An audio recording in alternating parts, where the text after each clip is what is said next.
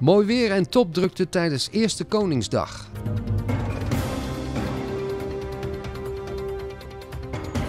Slachtoffers van drama Koninginnedag 2009 herdacht.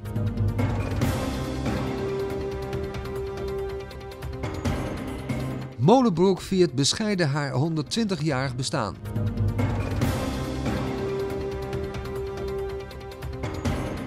Stichting Veteraan Autobussen heeft nieuw onderkomen.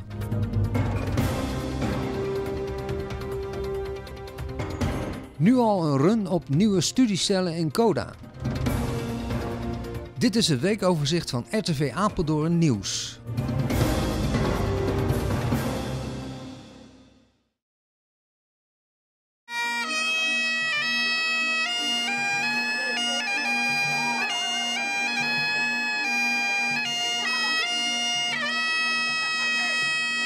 Apeldoorn vierde afgelopen zaterdag massaal Koningsdag. Al vroeg op de dag was het al behoorlijk druk op de kleedjesmarkt. Dat betekende overigens niet dat daar hele goede zaken werd gedaan.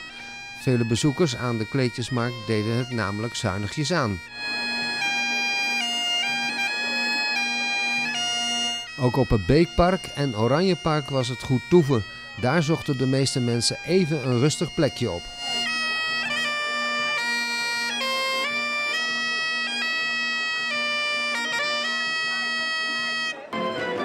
Op de kermis werd het pas later druk en werd er dit jaar wat minder geld uitgegeven. Het volksvermaak heeft al tijden last van de crisis en de bezuinigingen.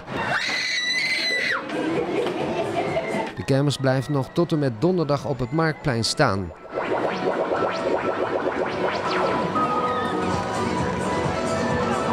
Dinsdag en woensdag kan de goedkope kermis gevierd worden, dan zijn er namelijk de eurodagen. In de loop van de middag stroomde ook het Leijenplein vol met feestvierende mensen. Daar zorgden diverse artiesten voor een feestelijke sfeer.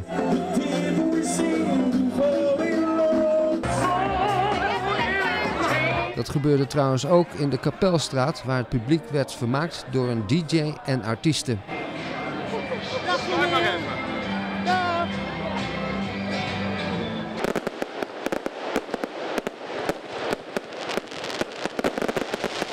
Vuurwerk bij Marialust trok dit jaar meer bezoekers dan voorgaande jaren. Met name de jeugd was met grote getalen komen kijken. Voor zover bekend verliep de eerste Koningsdag goed en rustig.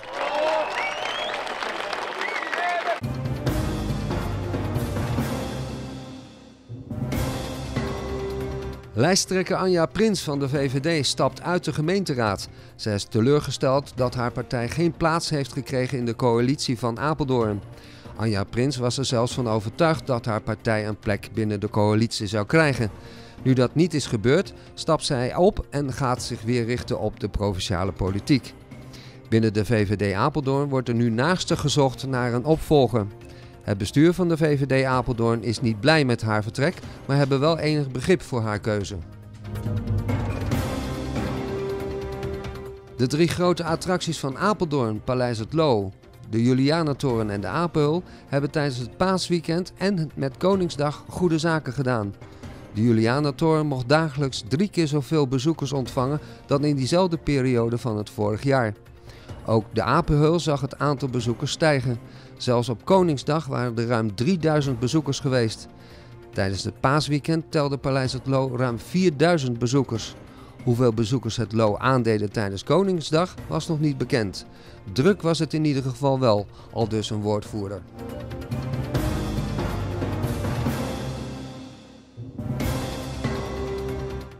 Vanmorgen werd er op Paleis het Lo een herdenking gehouden van de slachtoffers van het Koninginnendrama in Apeldoorn. De herdenking vond op verzoek van de nabestaanden in besloten kring plaats. Daarna gingen familieleden, vrienden en nabestaanden per bus naar het monument aan de Lolaan. Zij legden daar bloemen en witte rozen neer.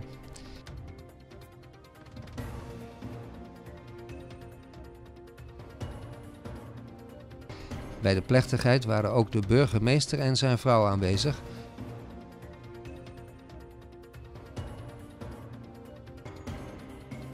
Simon Boon en Roel Visser namens de stichting Oranjefeesten Apeldoorn en leden van de gemeente Apeldoorn. Bij het monument werd ook een minuut stilte in acht genomen. Het is vijf jaar geleden dat hier een aanslag plaatsvond. Er is nu een herdenking. Wat is de betekenis van deze herdenking? Ik uh, merk vooral bij de nabestaanden van de slachtoffers die hier gevallen zijn, dat men toch echt de behoefte heeft om hier op deze plek terug te zijn en hun dierbaren die overleden zijn te herdenken. En wat heeft uh, deze herdenking bij u voor emoties teweeggebracht vanochtend? Ja, het is altijd moeilijk om dat onder woorden te brengen. Wat vooral bij mij overkomt is dat het uh, eigenlijk nog steeds een heel dun laagje van, uh, zeg maar, van, van rust onder de mensen is. Maar dat kan zo weer oppoppen tot emotie en dat merkte ik vanochtend ook. En, en op zich is dat ook eigenlijk heel normaal gezien wat hier heeft plaatsgevonden. Ja, want hoe kijkt u daarop terug, op die aanslag vijf jaar geleden? Wat is de betekenis daarvan op Apeldoorn?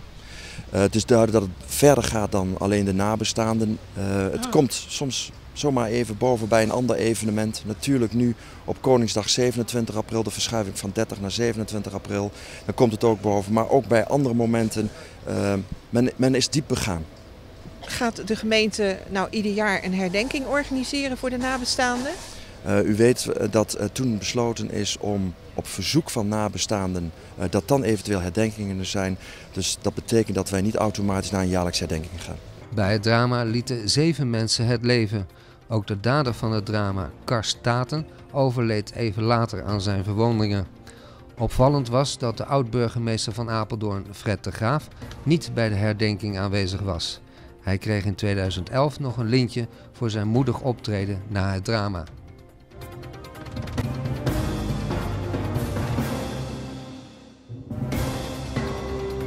Er komt voorlopig geen Apeldoornse versie van de film Den Haag Sporen van Oranje. De gemeente beschikt niet over de financiële middelen om de film te kunnen bekostigen. Het vinden naar sponsoren wordt bemoeilijkt omdat de viering 200 jaar Koninkrijk in Apeldoorn al veel sponsors heeft. Ook willen burgemeester en wethouders zich eerst buigen over de vraag of Apeldoorn zich wel als oranje stad wil profileren. Initiatiefnemer van de film David Levy is erg teleurgesteld en vindt het zelfs een gemiste kans.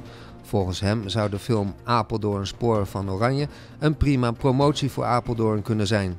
Paul Rem, presentator van de Haagse versie en conservator van Paleis het Loo, vindt het jammer dat er geen Apeldoornse versie komt.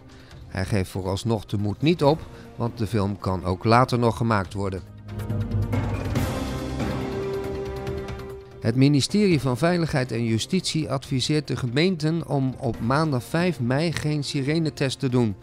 Iedere eerste maandag van de maand, om precies te zijn om 12 uur, wordt de sirenes getest. Apeldoorn neemt het advies over en zal de sirenes op bevrijdingsdag niet laten loeien. Het Kleine Oorlogsmuseum Collectie 4045 in Beekbergen is uitgebreid. Naast de verzameling vondsten uit de Tweede Wereldoorlog zijn nu ook voorwerpen uit de Eerste Wereldoorlog te zien.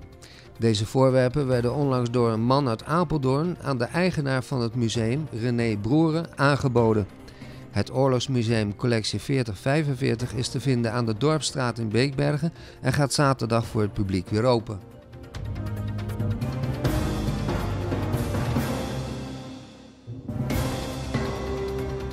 Drie generaties lang wordt de bedden- en leningeriezaak van Molenbroek al bestierd. De winkel van Molenbroek zit op de hoek Korenpassage Korenstraat en viert haar 120-jarig bestaan. En dat doen ze heel bescheiden. Meneer Molenbroek, gefeliciteerd. Uw bedrijf uh, bestaat 120 jaar. Hoe lang doet u dit zelf al? Sinds 18, nee, 1986 ben ik aan de zaak aan het weg. En in 1996 heb ik de zaak overgenomen van mijn vader destijds. Hoe komt het nou dat het bedrijf al zo, zo lang bestaat? Wat denkt u? Uh, we brengen natuurlijk altijd een bepaalde service, een bepaalde kwaliteit. Ja, en de betrouwbaarheid naar Apeldoornse bevolking toe. Want waar is het allemaal mee begonnen? Kunt u dat vertellen? Ook met textiel en lingerie zoals we dat nu hebben. Alleen, mijn opa die had nog een uh, knapzak.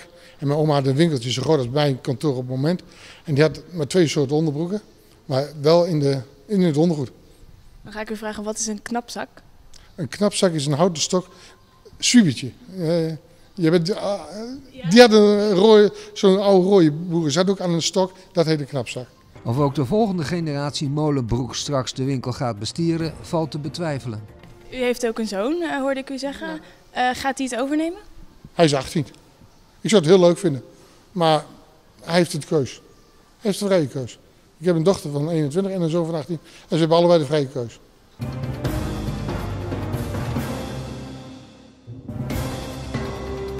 Jarenlang zat de stichting Veteraan Autobussen werkgroep Apeldoorn Arnhem in Lieren. Maar sinds vandaag heeft de werkgroep een nieuw en groter onderkomen aan de Vlijtseweg in Apeldoorn gekregen. Vandaag konden de bezoekers al een kijkje komen nemen, maar ook morgen vanaf 10 uur kan men dat doen. Is dit permanent te bezoeken voortaan? Nou, wij eh, zijn een club van vrijwilligers. En dat eh, betekent dat we niet alle dagen hier zijn. Maar eh, als mensen op dinsdag komen, dan zijn we er altijd en meestal op woensdag ook. Hoeveel bussen staan hier? Er staan hier 14 bussen van onze collectie van 20. Van de werkgroep Apeldoorn en Arnhem hebben we ook nog een aantal in Arnhem staan. Ja, dat zijn trolleys en daar kun je weinig mee in Apeldoorn. Wat is nou de oudste bus die jullie hier hebben staan? De oudste bus staat buiten. Dat is een uh, Zwitserse postbus, de Saurer 4. En daar maken we vandaag en morgen ook uh, wat rondjes mee in Apeldoorn. Zijn er nou nog bussen waarvan u denkt, nou die willen we graag nog hebben? Ja, er zijn wensen zat. Helemaal achterin staat een uh, hele oude vatbus, een oude touringcarbus. Maar als ik zeg bus, dan zeg ik eigenlijk al te veel. Het is meer een karkas en die gaan we restaureren. Logischerwijs zou dit museum en werkplaats in het Zwitsercomplex ondergebracht moeten worden. Volgens de stichting was dat ook het idee, maar de huurprijs was daar veel te hoog. Nu zit de stichting Veteraan Autobussen in een pand er praktisch naast. Verhuizen naar een grotere ruimte was echt nodig. Hoe lang waren jullie nou bezig om een onderkomen hier in Apeldoorn te vinden voor die bussen?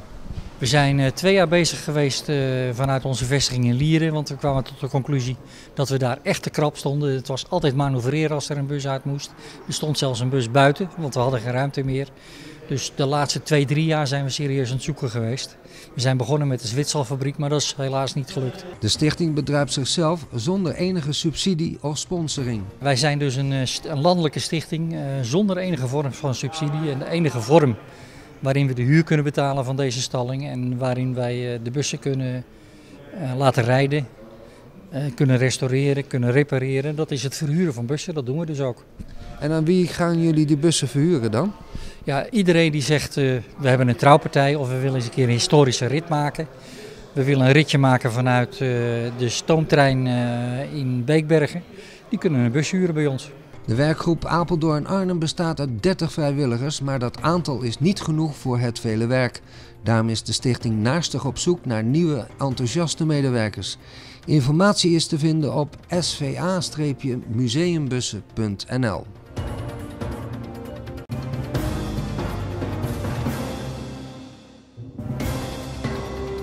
De verbouwing is nog maar amper klaar, maar nu al zijn de nieuwe studiecellen in de bibliotheek van Coda veelal bezet. De studiecellen zijn er om rustig huiswerk te maken voor jongeren die straks examen moeten doen. Het is een van de vele nieuwe initiatieven die Coda in haar bibliotheekruimte is gestart. Hoe komen jullie op dat idee? Coda heeft inderdaad iets nieuws. En de studiecellen, dat vormen in wezen, uh, is dat uh, de, de, tweede fase van Coda Junior. De eerste fase is het speelleerlandschap uh, met glijbaan en toebehoren. En het tweede gedeelte is dat wij hebben gezocht naar uh, en geanticipeerd op maatschappelijke ontwikkelingen. Een van die ontwikkelingen uh, die we hier tot stand hebben kunnen brengen zijn studiecellen. Er is dus een, heel veel behoefte aan rustige studieplekken. Uh, jongelui hebben steeds meer moeite met uh, concentratie, worden snel afgeleid. Hebben thuis uh, heeft niet iedereen een gelukkige situatie om rustig te kunnen studeren. Ehm, die trend was al een tijdje gaande. de bibliotheek kende al veel plekken aan de zijkanten van dit gebouw waar jongelui konden studeren. Maar door deze verbouwing, Code Junior is bedoeld voor kinderen van 3 tot 18 jaar. Dit is dus de tweede fase. Hebben we gezorgd dat hier een aantal studiecellen kwamen en een stuk overloop in die grotere ruimtes waar men ook heel rustig kan studeren. Jij bent hier aan het studeren. Waarom doe je dat niet thuis en hier? Uh, omdat ik thuis een broertje en een zusje heb. En die rennen en springen de hele dag door het huis. En dat vind ik vaak niet zo bevorderend voor mijn concentratie. En omdat het hier zo lekker rustig is en een fijne werksfeer, uh, leer ik eigenlijk altijd hier. En uh, dus dit komt heel goed uit zelfs? Ja, eigenlijk wel. En hoe ben je hierachter gekomen? Want dit is nieuw, hè? Dit is nog niet zo lang. Dus uh, hoe ben je erachter gekomen dat het hier in Coda is? Um, nou ja, je had natuurlijk altijd dat je in de biep kon zitten hier. Maar ik hoorde van vrienden dat hier een nieuwe studiezaal was. En toen dacht ik, nou, dan ga ik eens kijken. En toen uh, beviel het me eigenlijk allemaal wel. Uh, wat voor jaar doe je? Uh, ik zit in een zes gymnasium. Dus ik heb over twee weken examens. Minder dan twee weken. En hoe sta je ervoor, denk je nu? Ik sta momenteel op slagen, maar ik kan laat zeggen niet mijn hele examen verpesten. Ik moet ook nog wel redelijke cijfers halen voor mijn examens om te slagen. Maar als het goed is, als ik wat doe, dan uh, komt het wel goed, denk ik. Waar komt het idee vandaan? Het idee uh, is, uh, komt vandaan dat, dat de maatschappij aan het veranderen is. Jongelui uh, veranderen.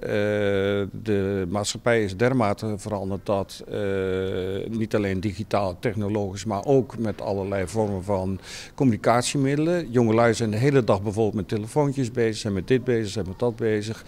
Moeten toch een gedeelte van het jaar geconcentreerd werken, proberen hun diploma's te halen. Uh, en het idee is een, een, een, ontwikkeling in de maatschappij dat uh, uh, vroeger uh, zaten jongelui wat langer thuis. Uh, ouders werkten niet allebei. Tegenwoordig werken meestal de ouders allebei. Er is wat minder toezicht thuis. Jongelui komen eerder in de verleiding. En bedenken dus zelf van, willen we een rustige plek, dan zoeken we medestanders op. In dit geval medeleerlingen, medestudenten, dat we geconcentreerd kunnen werken. Het loopt storm, want ja. bijna alle cellen zijn vol en andere ruimtes zelfs ook. Had u verwacht dat dat zo storm zou gaan lopen?